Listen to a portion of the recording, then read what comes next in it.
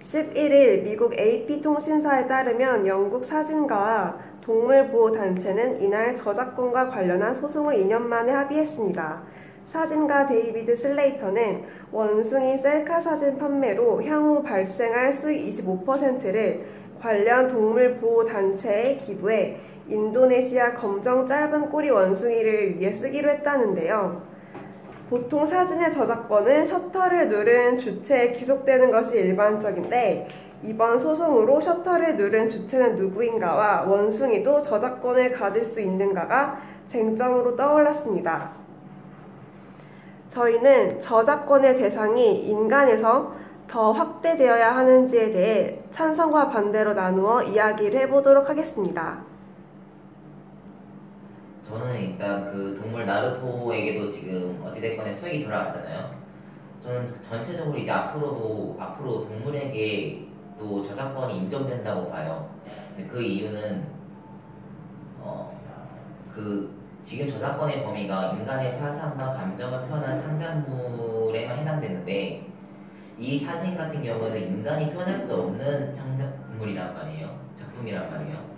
동물만이 찍은 건데 이 경우 만약에 저작권이 동물에 인정되지 않는다면은 그냥 해당 법원에서 사진 작가에게도 그 저작권이 없다고 판결나고 그러면 그냥 이 사진은 단순한 이슈거리 막장 이런 걸로 아무 가치가 없는 상태로 돌아다니는 건데 이제 어쨌든 간에 이번에 저작 사진 작가 저작권을 주장했고 여기서 이제 그 동물 단체 그 PP이라는 그 기구 기관에서 소송을 또 저작권에 걸었기 때문에 이렇게 합의가 돼서 동물이 이제 나루토랑 그 사진 작가에게 수익이 돌아온 거잖아요. 이렇게 이렇게 수익이 생겨났다는 것 자체가 어떤 그 사진의 가치가 있기 때문이라고 생각하기 때문에 동물에게도 이제 저작권을 인정해야 된다고 생각해요. 지금 나루토 재판 결과를 가지고 동물의 저, 저작권을 동물에게까지 확대를 해야 된다고 주장을 하셨는데 그 저작권을 부여한다는 것 자체에 초점을 두면은 재판 결과가 사실 원숭이에게 저작권을 준다는 것을 인정한 건 아니에요. 그러니까 그 재판 결과는 단지 사진 작가와 동물보호 단체가 수익 배분에 합의를 했을 뿐이고 아직 원숭이에게까지 저작권을 인정한다는 재판 결과는 아니거든요.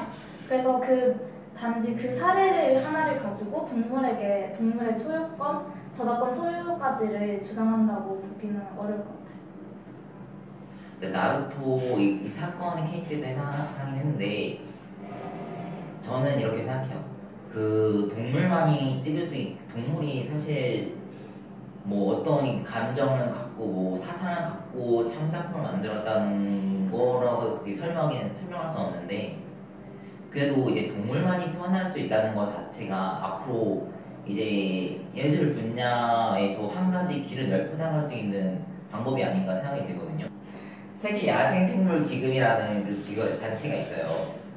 근데 거기서는 이제 동물에게는 왜 저작권을 없을까 고민하다가 이제 동물을 이제 존중하고 이제 평등이 돼야 된다고 해가지고 이제 동물의 등이나 어, 그 어디에 그 신체 어디 곳에 이제 카메라를 달아요. 이제 그 동물만 찍을 수 있는 사진이나 영상들을 뭐 게시해가지고 저작권 캠페인을 하고 있는데 어쨌든 이렇게 동물만을 위해서 아까 동물만이 이렇게 찍을 수 촬영하고 찍을 수 있는 이런 환경은 인간이 표현할 수 있는 게 아니니까 이러한 작품 같은 경우가 안에서는 이제 뭐 저작권은 인정해도 되지 않을까 생각이 들거든요. 음, 근데 지금 말씀하신 것처럼 지금 동물에게 저작권을 주어야 한다는 것에 초점을 뒀을 때 지금 동물만이 창작해낼 수 있는 창작물이 있다고 주장하셨는데 사실 정의대로 얘기를 하면은 저작권이 보호되는 대상에는 두 가지가 필요하거든요. 하나는 사상, 아까 말씀하셨듯이 사상, 감정, 방식, 방법 등 아이디어 영역에 속하는 것 뿐만 아니라 두 번째로 외부에 이렇게 표출이 되어야 돼요. 그러니까 예를 들어서 내가 어떤 생각을 하고 있는데 그게 생각으로만 그치만은 저작권을 인정은 안 되고 내 생각이 뭔가 외부로 표출될 수 있는 그런 어, 결과물을 만들어내야 되는 게 저작권의 두 가지 조건이거든요. 근데 제가 생각했을 때 동물의 창작물이라고 얘기를 했을 때 첫 번, 두 번째 조건이 외부로 표출되는 거는 인정이 되지만 첫 번째 조건인 사상이나 감정, 방식 등의 아이디어를 담았다고는 생각하지 않아요. 왜냐면은 동물, 동물의 사상과 감정을 우리가 판단할 수 없는 거잖아요. 그리고 그거를 만들어냈다고 했을 때 동물이 정말 사상을 가지고 이런 의도를 가지고 창작물을 만들어냈다고는 판단하기 어려울 것 같습니다. 확실히 경우는 그 부분이 힘든 게 있는데 사상을 표현하는 거는 조금 뭐 말도 안 되는 얘기일 수도 있지만 이제 요즘에 뭐 최근에 뭐 관 이런 영상이 그때 나루토뿐만 아니고 최근에는 되게 한 5, 6년 전이잖아요. 최근에는 저런 케이스 영상이 되게 많이 유튜브에 올라오고 있어요. 막 그 관광객이 놀러 가서 사진 영상을 찍어내는 세웠는데 갑자기 원숭이가 막 낚아채거나 아니면 다람쥐나 새가 갑자기 카메라 낚아채가지고 그 찍은 영상들이 있거든요. 사진. 특히 원숭이나 고릴라 같은 경우에는 이- 이들이 찍고 막 자기들이 사진을 찍는단 말이에요. 특히 이런 영장류들은 이런 학습 능력이 그래도 사진기가 몇번 닫으면 학습 능력이 생기실지도 모르잖아요. 이게 막 이런 거구나라는 거 하는데 거기서 이제 사상까지는 모르더라도 감정이 들어갈 여지는 있다고 보는데 뭐 그걸 제쳐두더라도 쳐도 이제 이 부분은 이제 앞으로 법은 뭐 바뀌어 나갈 수 있는 거니까 법의 그 정의는 앞으로라도 이제 어찌됐건 이 사람의 도움을 받아야 이제 창작물로서 가치를 받긴 하는데 네, 앞으로는 이렇게 조금 변화를 할, 할 필요가 있지 않나.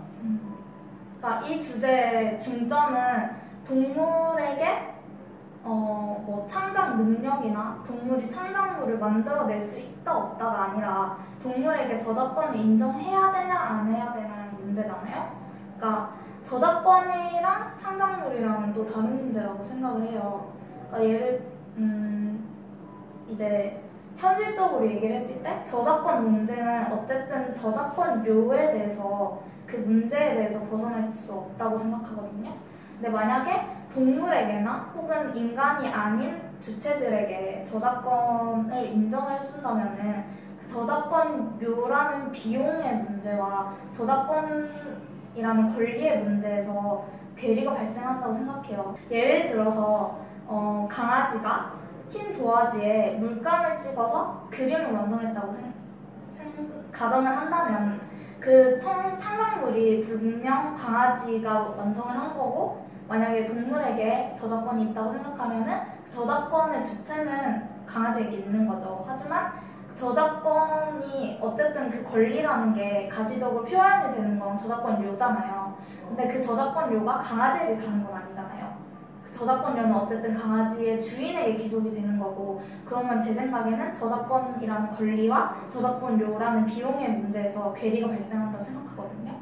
어, 저는 이제 마지막으로 그냥 의견 하나만 내면은 그게 지금 케이스에도 지금 같은 이 나루토 경우에도 어쨌든 이제 동물들이 원숭이가 갑자기 막 집해들고 가서 바나나 주세요 살 수 있는 그런 능력이 있는 게 아니니까 저희 아까 전에 뭐 말씀드렸듯이 창작물 이제 동물도 동물이 어쨌든 뭐 저작권 인정받으려면은 사람의 도움을 필요하듯 어쨌든 간에 이 사람의 도움이 없으면은 이 이거를 동물들이 찍은 사진과 영상을 뭐 봐주지도 쓸 일도 없거든요.